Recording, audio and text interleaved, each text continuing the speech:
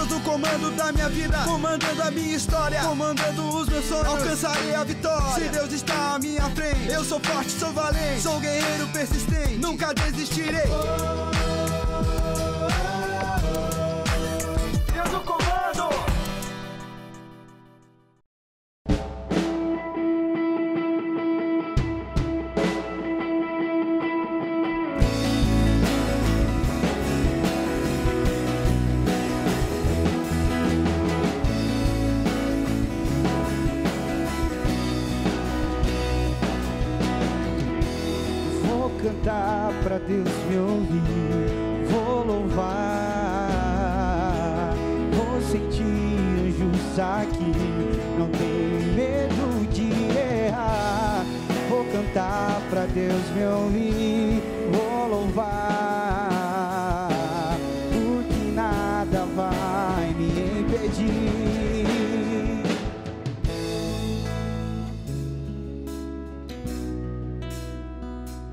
Deus no Comando, ao vivo aqui pela TV Evangelizar. Que alegria podemos juntos colocar Deus no comando da nossa vida, da nossa história, nessa tarde tão bonita que o Senhor nos deu. Fique ligadinho, porque está só começando.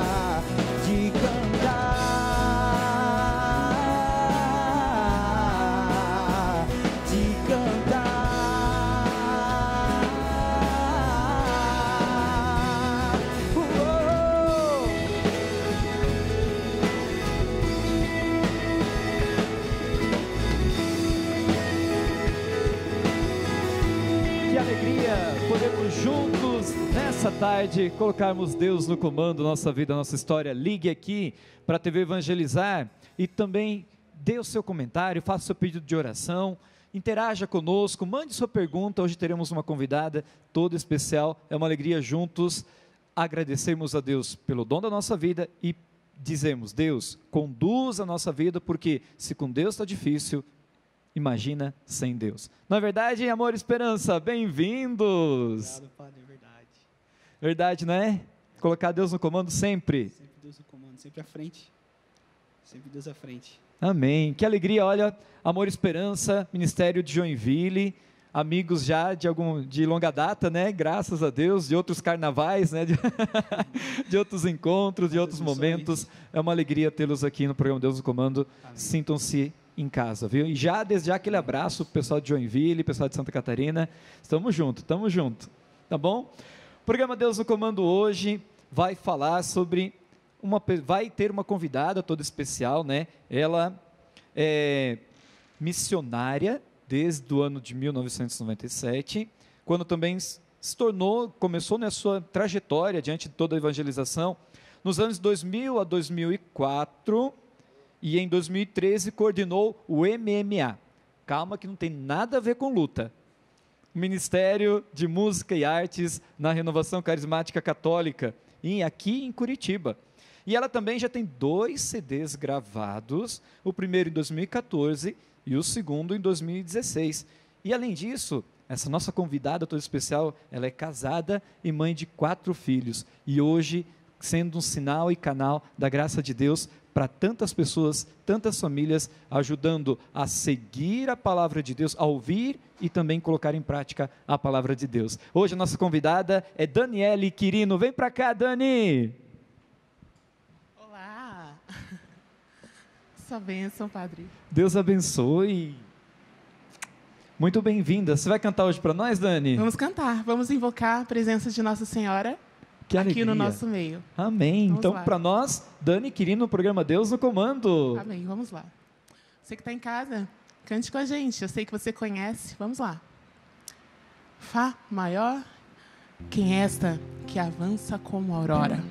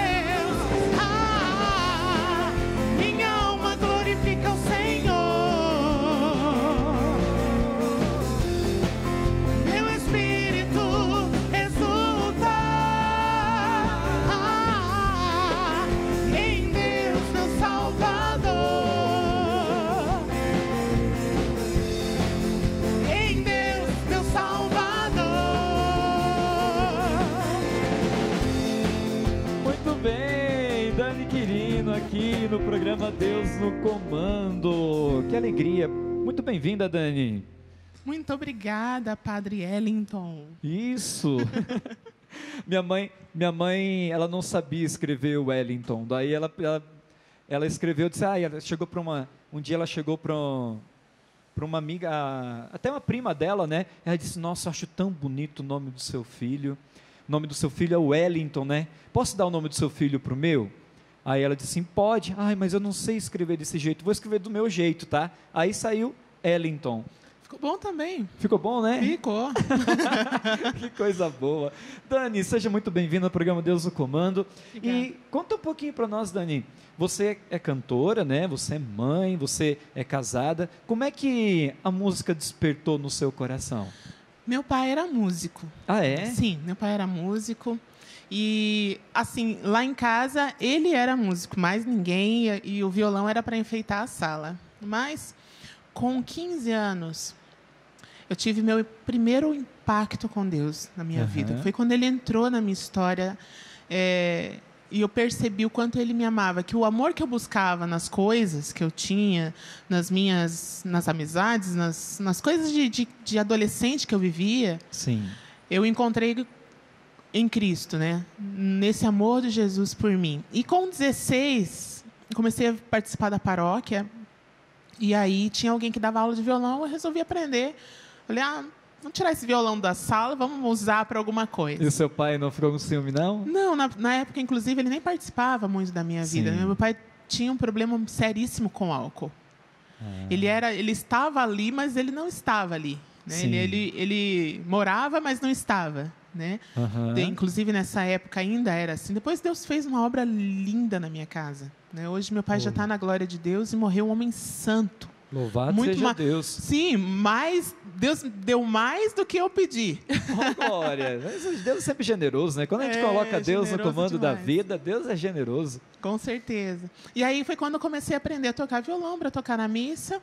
E ela falava assim: canta para você não perder o tempo do violão. Acabei que hoje o violão para mim ele é um auxílio e me tornei cantora, né? Aham. Então é, essa graça de poder ministrar música dentro da igreja católica, debaixo da- das asas da igreja, é algo para mim assim. Eu faz mais de 20 anos que eu faço isso. Cada vez é novo. Cada Ai. vez é grande. Não importa. É uma experiência fantástica, né?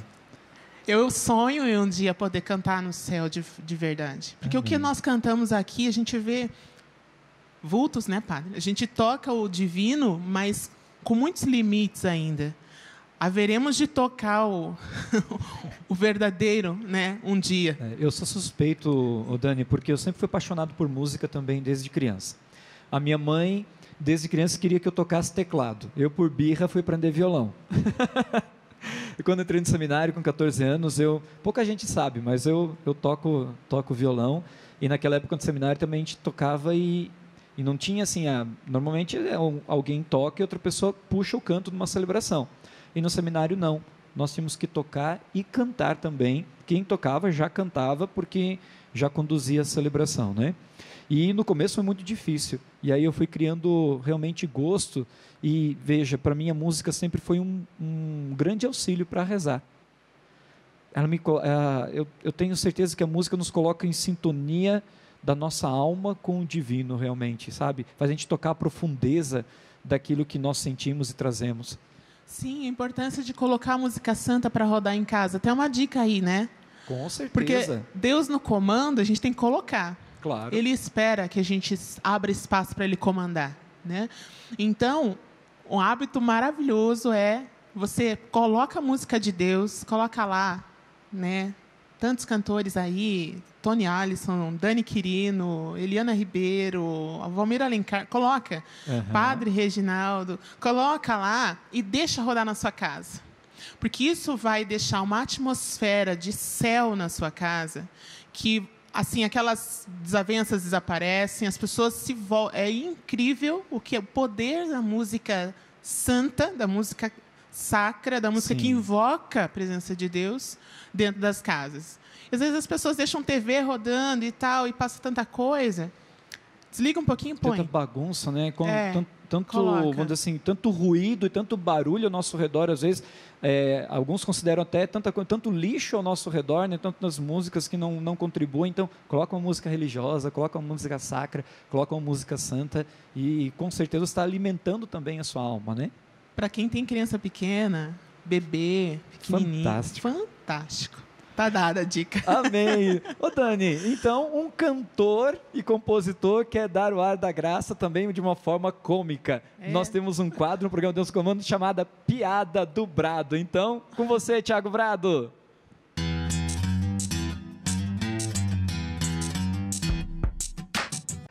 Salve, salve galerinha do Deus no Comando, bom demais estar aqui com vocês, hein? Tema especial, tema bacana de missão, como ser uma mãe, como ser uma mulher missionária, né? Isso me lembrou uma história, tava a mãe ensinando os filhos os mandamentos. Então ela, depois de explicar sobre o mandamento de honrar o pai, honrar pai e mãe, ela perguntou assim: Filhos, prestem atenção. No dia 5 de 6, né?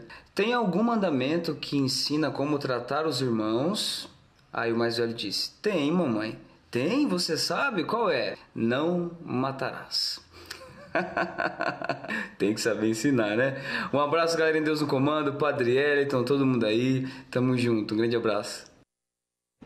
Valeu, Thiago! Valeu, Thiagão! Um grande abraço você também. Tamo junto hoje, sempre com Deus no comando. Esse Thiago é uma figura, né, gente?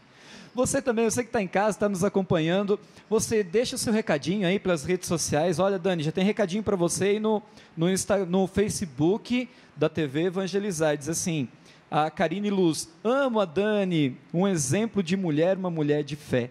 Olha que coisa boa. Obrigada, Karine. Que Deus te abençoe aí. E vamos juntas. Isso mesmo. Precisamos de levantar, Padre, um grande exército de mulheres de fé que digam sim. Eu entendi o plano de Deus na minha vida. Sim, eu quero ser uma mãe missionária dentro da minha casa. Uma coisa que eu aprendi Aham. foi que eu que era tão ativa, de todo final de semana eu estava ou em show, em retiro, em congresso e tal. Deus, quando me chamou para maternidade, ele falou: Dani, agora sim você vai fazer o show que eu vou ver Ô, aqui glória! dentro das quatro paredes. Ô, Glória! Sim. E quando eu entendi a grandeza da, da maternidade na minha vida e que quem estava me vendo era Deus e eu estava fazendo tudo por aqueles que Ele me deu, que são os meus filhos, meu marido, isso me deu uma paz tão grande. Assim, é claro, vamos falar de mulher aqui, mas não tenha medo de dar, sim, o show que Deus quer ver dentro das nossas Dentro de casas. casa. É ali. Não foi? Amém. É ali que saiu o padre? Isso mesmo. Foi ali. É É, ali. Sabe, essa riqueza que a gente às vezes vê as pessoas falando que não, que não, vamos, vamos, vamos fazer outras coisas, vamos, vamos produzir, vamos. Não. De Vamos também, Vamos também. mas sem deixar de lado essa vocação familiar. Eu me realizei, Amém. me realizei. Tenho E- certeza que E quem com certeza o seu testemunho ajudará muitas outras mulheres e muitas outras pessoas a se realizarem também. Dani, canta para nós, canto. canta para nós e logo em seguida nós vamos para um rápido intervalo. Permaneça aí. Vamos de livre acesso? Vamos lá? Sol? Pode ser. Eu abro as portas do meu coração, te dou livre acesso, Senhor. Eu abro as portas do meu coração, te dou livre acesso. Eu abro as portas do meu coração, te dou livre acesso, Senhor. Abro as portas do meu coração, te dou livre acesso.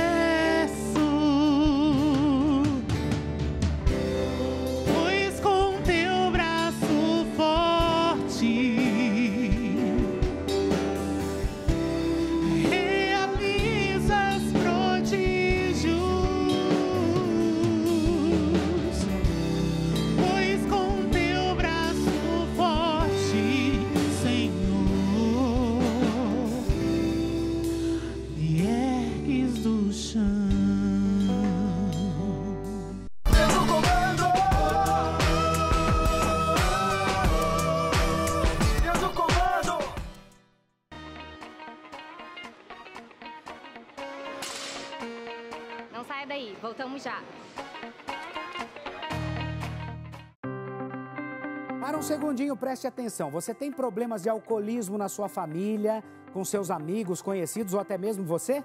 Então, a solução chegou, TED Control. Esse produto que é 100% natural, certificado pela Anvisa, qualquer pessoa pode utilizar. Ligue agora, 0800 580 2760. Olha só, com apenas 10 gotinhas, duas vezes ao dia, na água, no refrigerante, no suco ou até mesmo na bebida alcoólica, em muito pouco tempo a pessoa larga esse vício da bebida. Saiba mais, ligue agora, 0800 580 2760. Ligando agora tem uma condição especial, promoção para você que ligar, hein? Olha, 0800 580 2760. Você pode pagar no cartão de crédito em até 10 parcelas ou no boleto bancário para 45 dias. Entregamos em qualquer lugar do Brasil e para quem ligar agora tem um brinde especial. 0800 580 2760 é TED Control. Daqui a pouco, assista. Terço das Santas Chagas com o Padre Reginaldo Manzotti. Sim, eu estou bem. Eu vou muito bem. Eu sou como aquela ovelha cuidada pelo melhor de todos os pastores. Que mais que eu vou querer? Meu pastor és tu, Senhor. Não reclamo desta vida. Cuidas muito bem de mim. Amém. Eu sou fruto da oração do povo. Graças a Deus.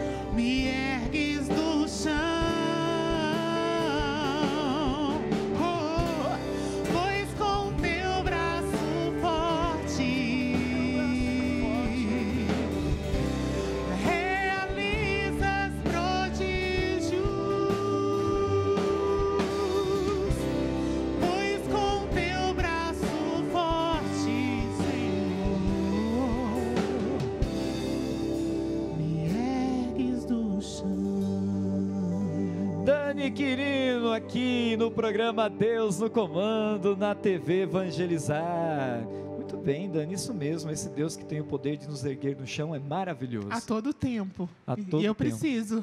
Com certeza. Nós precisamos também, preciso, Dani. Meu Deus. Dani, mas nós queremos mandar um abraço lá para o pessoal de Barretos. São Paulo, cidade que acompanha a TV Evangelizar, acompanha o programa Deus no Comando, pelo canal 16.1. Olha aí, estou passando as imagens da nossa telinha. TV Evangelizar, a família em primeiro lugar. O sinal da TV Evangelizar é transmitido via satélite em todo o Brasil. Somos 78 emissoras em TV aberta no país, estando em seis capitais são mais de 6 milhões de pessoas que acompanham nossa programação diariamente. Por isso fica aquele convite para você também se tornar um associado aqui da obra evangelizar. É preciso para que mais pessoas e mais cidades tenham a graça de poder receber a palavra de Deus, receber a força do Espírito Santo, receber esse poderoso instrumento e eficaz instrumento da graça de Deus também nos seus corações, na sua família. Por isso, torne-se também associado aqui da obra Evangelizar é preciso. Muito bem, Dani. Que alegria. Estamos aí. Fica o convite de evangelizarmos sempre.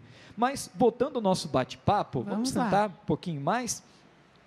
Dani, você é cantora, você é mãe, mas também você é missionária. Como conciliar tudo isso, gente? É uma graça divina, primeiro Sim. lugar. Primeiro, a gente precisa ser chamado por Deus. Né? Se eu tentasse fazer isso sem o chamado do Senhor, provavelmente não conseguiria. Então, existe um chamado de Deus e uma graça de que Deus me dá para conseguir conciliar. Então, assim, são quatro filhos, são vários, né? Não são poucos filhos, são quatro filhos e todos na idade de primeira infância. Então, são nove. É, Maria Vitória, um beijinho para eles todos. Grande Maria beijo, Vitória. gente. A Giovana faz seis anos daqui 15 dias. Nossa. O João Vitor, quatro anos. E o Pedro tem dois. É um bebê. Nossa, então, nossa, é uma- é, uma- hein? turminha. Vocês já sabem que minha banda no futuro, né? tá garantida. Com certeza. Então, é, precisa da graça divina. Segundo, chamado. Segundo, precisa de uma rede de apoio. Com certeza. A gente tem que contar com algumas pessoas. Então, eu conto muito com o meu esposo. Um beijo para ele também. Te amo, amor. Amém. Qual é que é o nome do seu esposo? É o Wellington ah, com W. Gente boa, um abraço, Wellington, para você. É, sem a ajuda dele seria muito difícil. Graças a Deus, ele me ajuda e, inclusive, faz parte da minha banda. Né? Sim. É guitarrista. Minha mãe também me ajuda. Ah, quando eu preciso sair, não posso levar as crianças, porque eu gosto muito de levá-los. Mas o evento tem que ter uma estru- estrutura para nos receber. Isso. Precisa ter uma salinha para eles poderem brincar, porque nessa idade eles não vão ficar sentados ouvindo. Não. Então precisa ter uma atividade, alguma. Nunca valorizei tanto, padre. Ministério para as crianças, depois que. Eu Ó, acredito, você que é do Ministério para as Crianças, que trabalha nos retiros, olha, Nota 10 mora no meu você. coração, assim, porque como a gente precisa Meu desse Deus. apoio. Com né, certeza. até que eles cresçam um pouquinho mais. Então, essa rede de apoio não é muito grande, mas é uma rede forte. Essa é a minha rede de apoio Até porque, conseguir. pelo que você está me dizendo, são todos, são todos laços, todos família, né? É. Todos em família. Que bonito isso, poder manter isso tudo em família, né? Sim. Até porque a renovação carismática, e quando você é chamado de missão, se torna uma grande família também, não só na renovação, mas nas comunidades, nas paróquias, nos grupos que você é chamada, acabam pelo seguimento a Jesus se tornando também uma única família, né? Sim, e a gente encontra assim, o Deus dá, né? É, são anjos, porque Deus dá esse amparo. Quantas vezes eu cheguei, eu estava com um bebezinho de três meses, seis meses, aparecia uma senhora lá, Dani, fica tranquila, eu vou cuidar do teu filho. Né? Muitas vezes eu não tinha com quem deixar e tudo mais, mas não queria negligenciar o chamado também. Então eu ia na, eu falava, Jesus provê, e ele sempre proveu pessoas que pudessem me ajudar. Então assim, padre, respondendo a sua pergunta, é desafiador, é desafiador. Entre uma coisa e outra, a família sempre vai ser a que eu vou escolher. Dou muito não para show, para evento, por causa deles. Porque é o final de semana que eu não posso sair, porque no outro eu já saí, porque naquele final de semana alguém ficou doentinho, eu não posso. Então eu preciso fazer essa escolha inteligente. Dani, qual que é, o, diante dessa realidade, dessa responsabilidade, porque é uma responsabilidade grande também, né? Hoje você é, ser instrumento, voz de Deus também para tantas pessoas, mas também cuidar dentro de casa. É, posso lhe perguntar qual é o medo que você mais enfrenta hoje, diante dessa, dessa, diante dessa missão que você abraçou? O medo que eu enfrento hoje é de que a mensagem que eu esteja passando para os outros não chegue aos meus filhos pelo meu exemplo dentro de casa. Por isso que eu falava do palco em casa. Porque se eu for alguém que dá testemunho, como estou dando aqui para, para quem está acompanhando esse programa, né, e, e, e para nós aqui, e dentro de casa não for o que eu estou dizendo, a mensagem que eu estou dando para os meus filhos é que a minha mãe está mentindo. E ser de Jesus é uma mentira. Não funciona mais aquele ditado, façam o que eu digo, mas não façam o que eu faço. né? Não, Não ixi. funciona, nunca funcionou, né? Não. Eu preciso estar coerente. O meu discurso tem que estar coerente. Eles têm que olhar para mim e dizer assim: realmente é isso aí. O que ela está falando, eu sei porque eu moro com ela, eu vejo. E esse é o meu medo. De não estar. Então, eu me esforço demais para ter um discurso coerente. Precisam entender que eles precisam colocar Deus em primeiro lugar na vida deles, porque é buscar primeiro o reino de Deus e todas as outras coisas vos serão acrescentadas. Se eu colocar outras coisas na, em primeiro lugar, tudo vai ruir. Então preciso e por isso que eu não largo meus chamados, que eu continuo, por isso que eu persevero, porque eu sei que eles têm que estar em primeiro. Mas se eu não for a pessoa de Cristo dentro da minha casa, se eu não refletir na mensagem que eu passo para eles é uma mensagem mentirosa. Então eu cuido muito para não para isso não acontecer. Esse é o maior medo que eu tenho. Nossa, você que está nos acompanhando, olha que bonito. A Dani, mulher, cantora, missionária, mãe de família, dando aqui junto conosco é, voz de Deus para tantas pessoas e para tantos, que diz que temos que colocar Deus no comando para cumprir bem também a missão nos confiada e que o grande medo que ela tem hoje é não poder ser testemunho também na vida dos seus filhos. Que bonito, Dani. Assim você nos ensina muito, porque e falava também, e quando a gente coloca Deus no comando, Deus também nos dá a possibilidade de, de ampliar os nossos laços de relacionamento e de família. Que bonito. Então, ó, Coloque Deus no comando, não perca essa oportunidade, porque Deus realmente é muito generoso. Nós temos um quadro agora no programa Deus no Comando chamado Excelentemente. Então, para nós, Tiago Beltrán.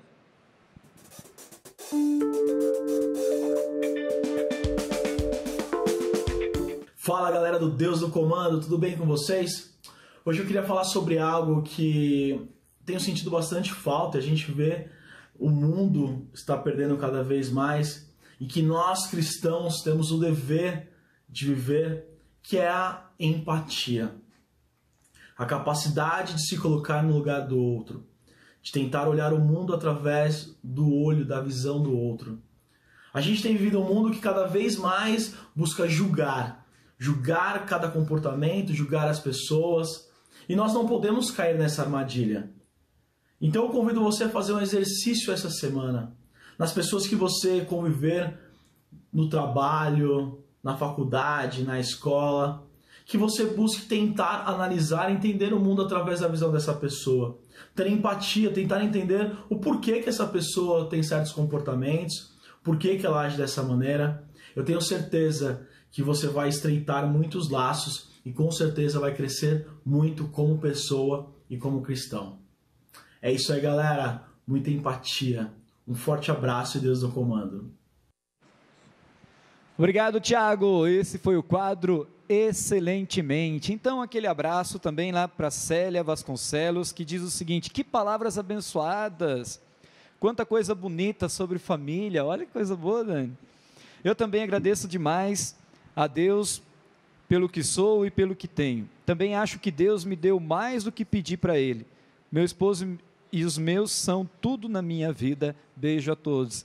Célia, obrigado pelas palavras, obrigado pela interação. Estamos juntos, viu? Deus no comando sempre. Aquele abraço também para Caroline Comper, Fernanda Cristina, Juma Melo, Dalva Madeiro, a todos vocês, nosso abraço, Deus no comando. Nós vamos para um rápido intervalo, fique ligadinho, voltamos já já.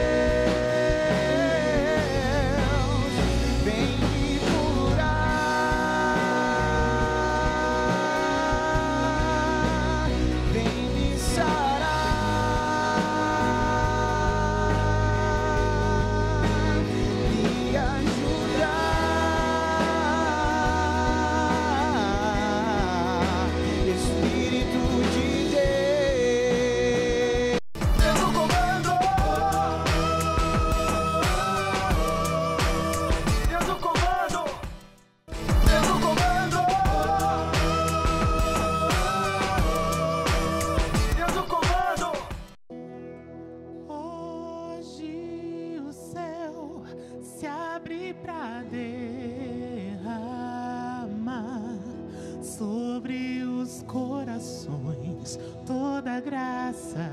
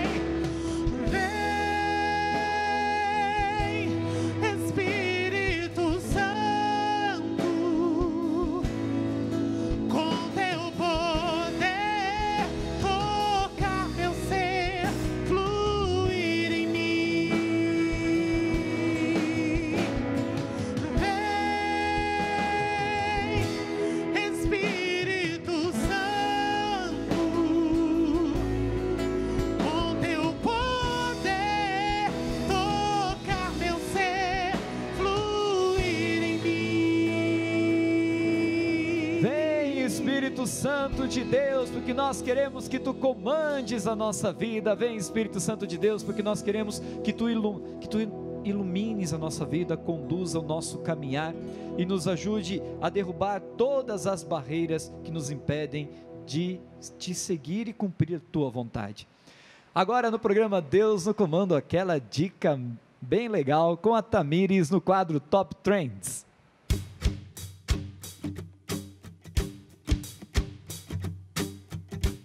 Fala galera do Deus no comando, mais um Top Trends. Na área eu já quero dar uma dica de um aplicativo muito legal. Sabe quando você tá na internet, sei lá, viu um blog ou uma leitura, um artigo muito interessante, só que naquela hora você não tá podendo ler, mas numa hora você vai querer ler aquele assunto, só que naquele momento você não vai ter ler, você tem medo de perder aquele conteúdo?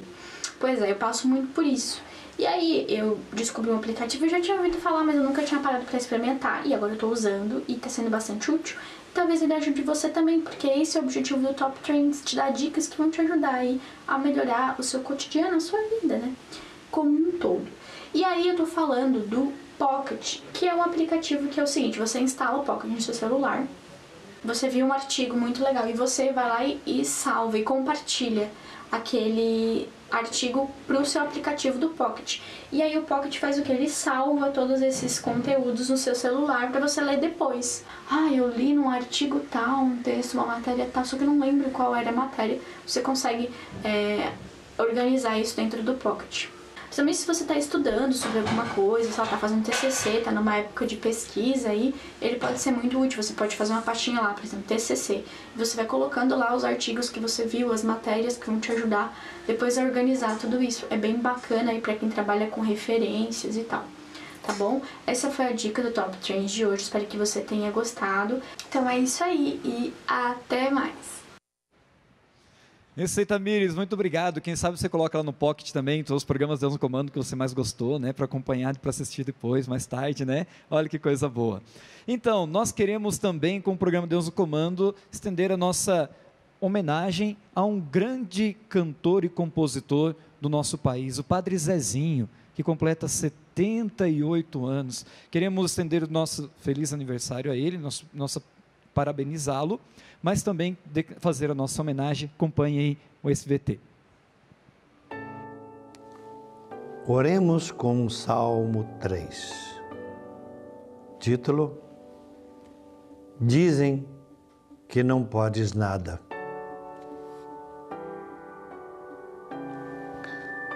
É muito grande, Senhor, o número dos que oprimem e me oprimem e se levantam contra mim. Grande também é o número dos que dizem que tu nunca me salvarás. Mas eu sei quem és. És meu escudo e minha honra. Por tua causa eu ando de cabeça erguida. Quando te chamo em voz alta, porque eu sei quem és. Posso dormir tranquilo, pois sei quem é que me protege. Podem cercar-me à vontade. Podem vir que eu não tenho medo desta turba. Façam o que quiserem. eu saberei me defender, porque tu me defendes. Às vezes tenho vontade de dizer: dá na cara deles, Deus. Quebra os dentes dessas bocas sujas. Mas aí eu me lembro da tua misericórdia. Então digo: mostra para eles quem és e quanto podes. A salvação e a bênção do meu povo não dependem do meu governo. Eu sou o rei Davi. Mas as bênçãos dependem de ti. Foi uma oração do rei Davi. Pensem com Jesus. Muito bem, parabéns ao Padre Zezinho. Eu tive a graça de conviver com ele durante a teologia, quando estudava em Taubaté, moramos na mesma casa, verdadeiramente um homem de Deus, alguém que colocou, que decidiu colocar Deus no comando da sua vida e por isso é hoje um grande ícone na música católica, pioneiro né, da música católica no Brasil e também é alguém de referência, de alguém que não se deixou corromper e seguiu adiante com fidelidade também ao seu chamado e aos dons que Deus lhe derramou o coração. Um homem de Deus, um homem que nos inspira a buscar o Senhor e que nos inspira a colocar Deus no comando sempre. Parabéns, Padre Zezinho, Deus abençoe muito, muito, muito, muito mesmo. Dani, queremos rezar para que pedir que como você tem colocado Deus no comando e como o Padre Zezinho tem colocado Deus no comando, todos nós tenhamos a coragem de colocar Deus no comando hoje e sempre, e orientados pelo Divino Espírito Santo. Por isso, conduz essa oração para nós, Dani. Faça essa prece para que possamos juntos invocar invocar o nosso Deus. Uma pequena prece pelo nosso povo, pelos nossos jovens que nos acompanham, para essas famílias que hoje, nesse sábado à tarde, estão aí hoje rezando conosco, acompanhando a TV Evangelizar, a obra Evangelizar. Senhor nosso Deus, nós te louvamos e te bendizemos porque o Senhor deseja estar no comando de nossas vidas, mas o Senhor espera que seja convidado para isso. E hoje nós queremos te convidar. Venha estar no comando da nossa vida. Você que está em casa, repita comigo essa pequena frase. Deus comanda agora e é para todo sempre a minha vida. Comanda a minha vida familiar, comanda a minha vida espiritual, comanda a minha vida profissional, comanda as minhas decisões, comanda, Senhor, tudo o que eu faço e o que eu não faço, tudo o que eu digo e as horas em que eu calo. Sejas tu, Senhor, aquele que me governa, porque colocar Deus no comando é ser governado, dirigido por Ele em todas as coisas. E sabemos que Ele, como Pai amoroso, Pai misericordioso, nos conduzirá à felicidade, ao amor e ao final de tudo, à eternidade. Obrigada, Senhor. Coloca-se, Senhor, no centro da nossa vida. Amém.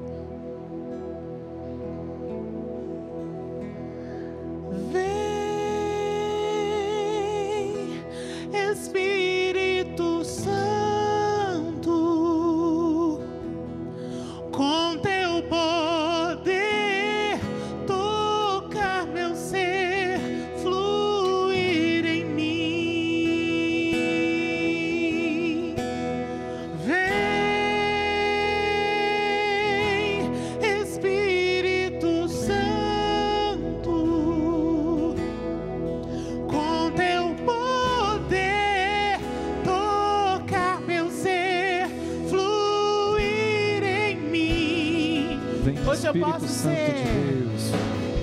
Hoje eu posso ser. Alcança o coração desses teus filhos e filhas. Vem, Espírito Santo de Deus. Renascer. Nós podemos ser homens e mulheres segundo o teu coração.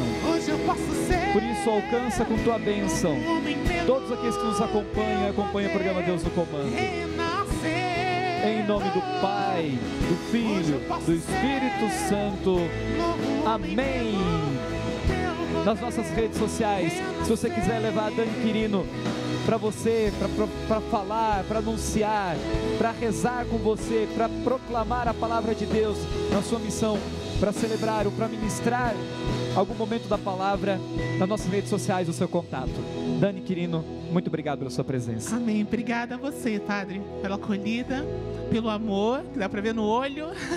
Amém. Obrigada, Ministério. Deus abençoe. Obrigada, TV. Todos vocês. Amém. Gente, até semana que vem. Deus abençoe. Deus no comando sempre. Hoje eu posso ser. Hoje eu posso ser.